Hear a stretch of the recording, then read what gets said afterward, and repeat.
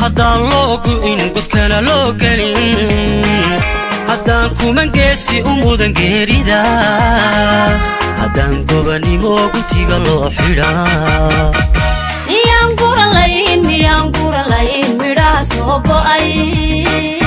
miyaan guralayn miyaan guralayn midhaa soo go'ay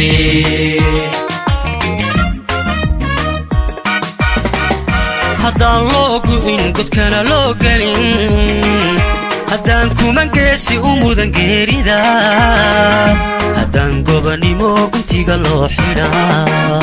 madaxweynaha jamhuuriyadda somalilan mudane muuse biixi cabdi iyo wafdiguu hogaaminayey ayaa ka soo laabtay safar qaatay muddo afar cishaa waxaana warbaahinta uga warbixiyey afhayeenka madaxtooyada jamhuuriyadda somalilan maxamuud warsame jaamac waxaana hadalladiisii ka mid ahaa. Biixi cabdi iyo wafdigii hogaaminayey ayaa maanta dalka dib ugu soo laabtay kadib socdaal qaatay muddo afar maalmooda oo madaxweynaha iyo wafdigiisu ay ku joogeen caasimadda waddanka imaaraadka carabta ee abudebey madaxweynuhu markii uu gaadhay waxaa loogu soo dhoweeyey habmaamuus meeqaamkeedu sarreeyo oo ay ka muuqato haykalka haybadda dowladnimo. Madaxweynaha iyo wafdigiisu muddaday halkaa ku sugnaayeen waxay kulamo la qaateen mas'uuliyiinta ugu sarraysa waddanka imaaraadka carabta oo ugu horeeyo ra'iisul wasaare ku-xigeenka waddanka imaaraadka ahna wasiirka madaxtooyada islamarkaana ahaa kusimaha ra'iisul wasaaraha sheikh mansuur bin sayid al nahyaan iyo mas'uuliyiinta kale ee dowladda madaxweynaha iyo mas'uuliyiinta dowladda imaaraadku waxay kaga wada hadleen kulamadooda arrimo fara badan oo ay ka mid yihiin ammaanka guud iyo horumarka mandaqada geeska africa xoojinta xidhiidhka labada dal ee jamhuuriyadda somalilan iyo waddanka imaaraadka carabta kobaca dhaqaalaha maalgashiga macdanta iyo tamarta iibka xoolaha dalka jamhuuriyadda somalilan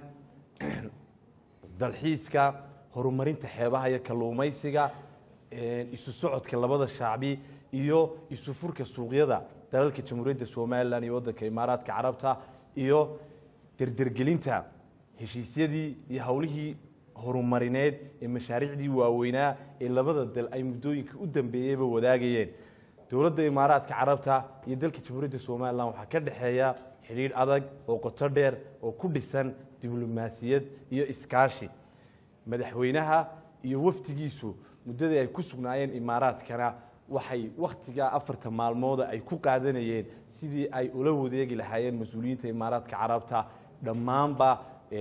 kaabayaasha dhaqaalaha khayraadka dabiiciga ee dalkani leeyahay in loo bandhigo keliya dowladaha maahe shirkadaha dowladda ka howlgala ee maalgashiga sameeya ayna tusaale u noqoto waddamada kale caalamku inay ku soo dhiiradaan oo ay arrimaha iyaguna qayb ka noqdaan.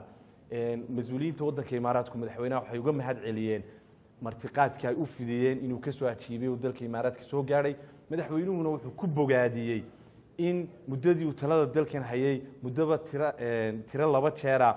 ay martiqaad rasmiya u soo direen. Taasina ay ka turjumayso xidhiidhka adag ay labada dowladood wadaagaan. Guud ahaan waxaanu si aada iyo aad iyo aada u meeqaam iyo mug weyn ugu mahadnaqaynaa dowladda imaaraadka carabta shacabka imaaraadka carabta iyo jaaliyadda reer somalilan ee waddanka imaaraadka carabta. Madaxweynaha xalaytu ku qaabilay munaasabad soo dhoweyna madaxweynuhuna uu uga warramay xaaladda dalka. Afhayeenka madaxtooyada jamhuuriyadda somalilan maraan weydiiyey su'aal ahayd siyaasadii arrimaha dibadda ee somalilan ma waxay ku soo koobnaatay waddamada isutaga imaaraadka carabta jabuuti iyo etoobiya waxa uu kaga jawaabay afhayeenku.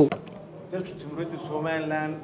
geeska afrika inuu ku yaalo inuu dal qiimo leh oo weyn uu yahay cid waliba way ogtahay siyaasadda xukuumadda madaxweyne muuse biixina mar walba waxay salka ku haysaa sidii qarankani aqoonsiga waxaa weeli lahaa waddamada jaarka iyo waddamada kale caalamka ee maanta madaxweynuhu ka yimina waxay ka mid yihiin dalalka somalilan cilaaqaad kale leh. Wadamada kalena waana la tegi doonaa wuuna booqan doonaa madaxweynuhu waana la soo arki